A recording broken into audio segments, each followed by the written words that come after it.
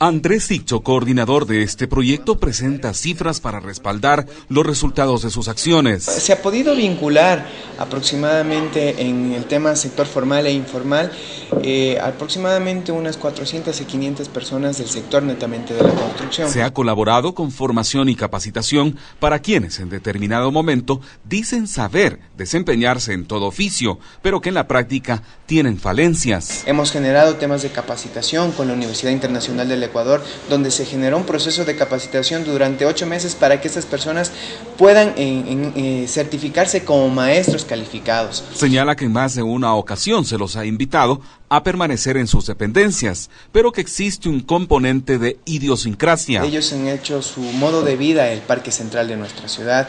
Eh, nosotros hemos optado eh, por reclutar ya las carpetas de, de, estas personas para que cuando existan los requerimientos nosotros comunicarnos vía telefónica y enviarlas a las diferentes ofertas de trabajo.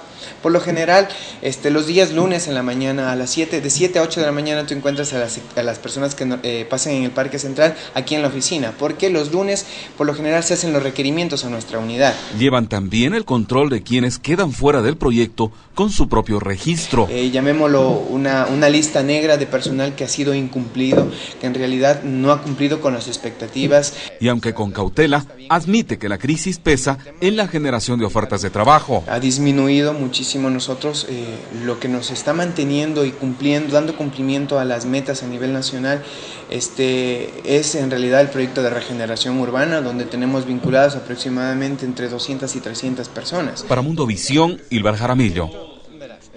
El, proyecto, el proyecto en realidad eh, estaba, avanzó.